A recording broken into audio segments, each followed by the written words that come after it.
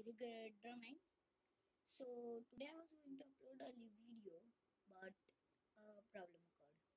I just wanted to show show you the problem.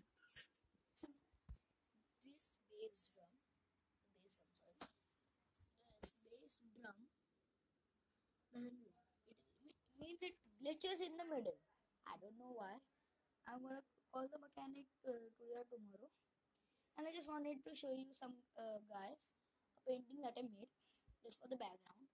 You'll see it ev- almost every time in my videos.